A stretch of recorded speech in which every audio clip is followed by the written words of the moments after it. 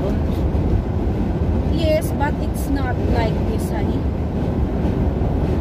Galing kami ng Bunnings, bumili kami ng bulaklak, ay indoor plants kasi namatay yung indoor plants. Ito, o, tingnan nyo, yung Chinese bamboo. Ang lit-lit lang, nasa 650 plus.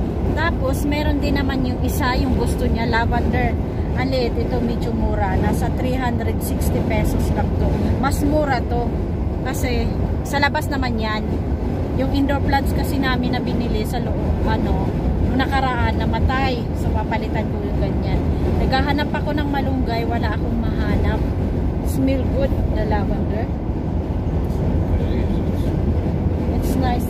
It's indoor, Nah, outdoor. it's outdoor. Yep. Beautiful fragrance. Uh, bumili kasi kami kasi namatay na yung aming halaman sa loob so pinalitan ko kuya wa oy. Ng grocery kami kapiranggot lang na ano siling labuyo nasa 100 plus na. Siguro mahigit ano 10 piraso. Ang mahal-mahal ng siling labuyo. Wala kasi doon sa Coles. Doon kami sa ano Pakistan Pakita, Pakistani store ako bumili. Siya naman kasi ayaw niya yan. Ayaw niya ng ano siling labuyo ako lang. Gagawin ko kasing chili sauce.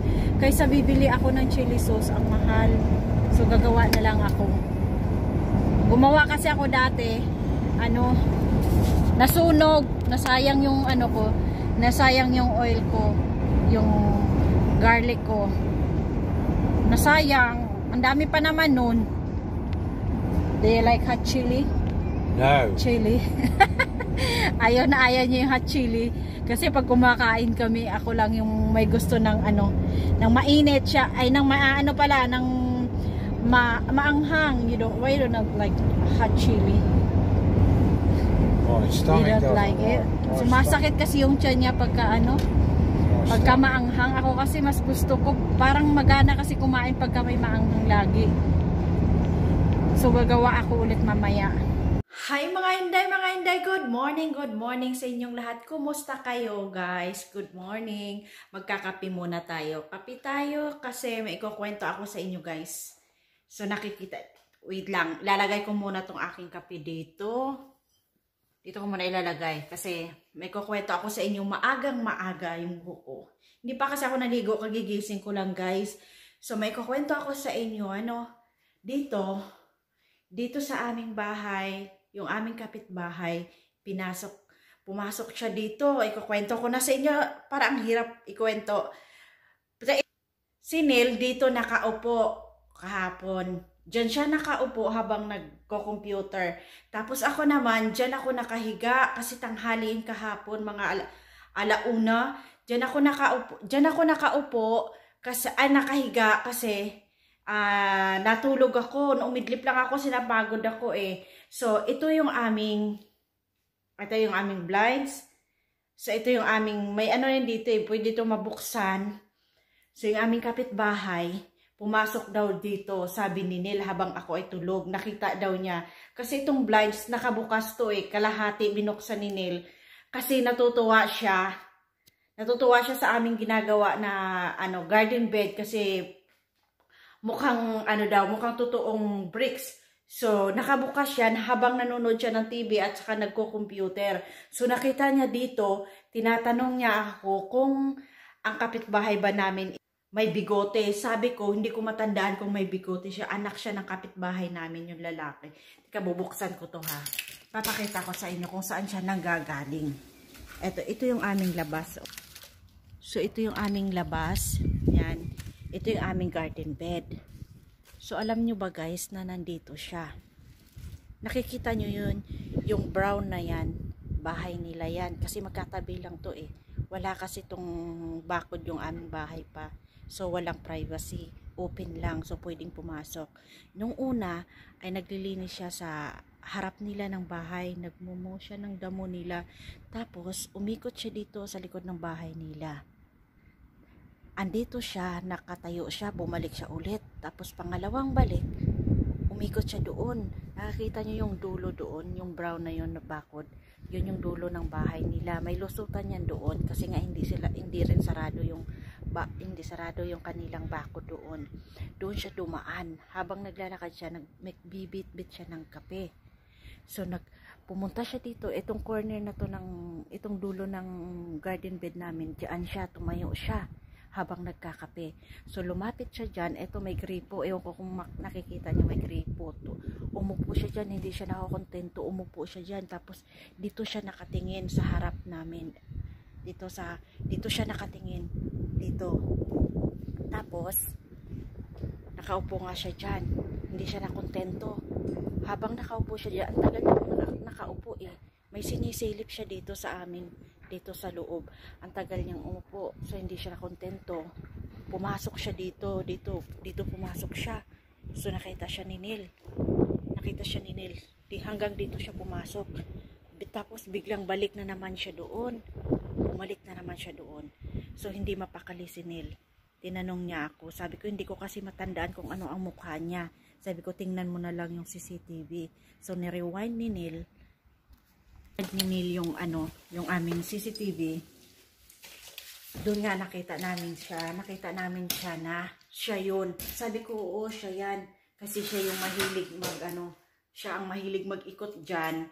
Mahilig siya mag-ikot dyan, dala yung kanyang pusa. So, dumudumi yung pusa niya una doon sa harap. So, so nagagalit si Neil. Sabi niya, bakit kasi, bakit siya pumasok dito? Hindi siya mapakali, pumasok talaga siya. Pumasok talaga siya dito guys, oh. Hindi siya mapakali. Tapos bigla siyang balik. Nagtataka ako, bakit? Bakit pumasok siya? Hindi siya mapakali. Ang tagal niya guys, ang tagal niyang umupo dyan sa gilid namin ha. Hindi doon sa gilid nila. Kasi makikita, makikita sa CCTV eh. Ang tagal niyang umupo doon habang umiinom siya ng kape. Talagang sinisipat niya dito. Hindi ko alam kung ano yung tinitingnan niya dito sa amin. Kasi makikita naman niya yung aming garden bed. Tapos yung dito sa loob, siguro tinitingnan niya kung ano yung mga tanim dito. Eh, ano lang naman yan, mga kamatis lang naman yung tanim ko dyan. So nagtataka talaga kami bakit siya pumunta dito at umikot-ikot talaga siya. Hindi niya alam na naandito si Neil na nakaupo. Ito kasing aming salamin guys. Ito, alam mo yung, itong aming salamin na to. Pag nasa labas ka, at kahit naka-open to yung blinds, hindi mo makikita. Maliban na lang kung ididikit mo yung mukha mo sa salamin at titingnan mo dito sa loob. Yun, makikita mo yung tao dito sa loob. So, siya, hindi niya siguro alam na nandito kami. Pero, hindi ko alam bakit hindi niya hindi niya alam na may mga camera. Ito kasing, pag, bago ako dumating dito guys, itong bahay ni Neil, ma, ano na to, nakapalibot na to ng camera. Kasi alam nyo naman, uso dito ang camera ng bahay, CCTV. Kasi, uso, hindi ko alam, basta halos, halos dito ng bahay, mga 95% ang bahay dito, may mga camera.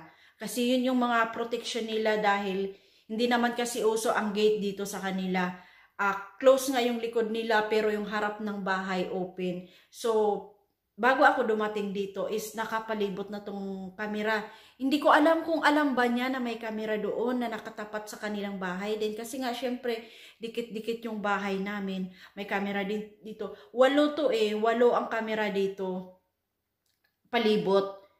Maliban na lang dito sa loob. Walang kamera dito sa loob. Sa labas lang lahat. Kasi nga, protection nga to ni Neil. So, nung hindi pa ako naandito. So, ang akala ni Neil, um, ang akala ni Neil, ibang tao, sabi ko, siya yan kasi nakialam ko, medyo payat siya eh. Kasi siya lagi ang umiikot dyan sa likod. Una sabi ni Neil, hindi, niya, hindi rin niya alam kung ano yung pakay niya kasi bakit bigla siyang pumasok dito at saka hindi siya mapakali.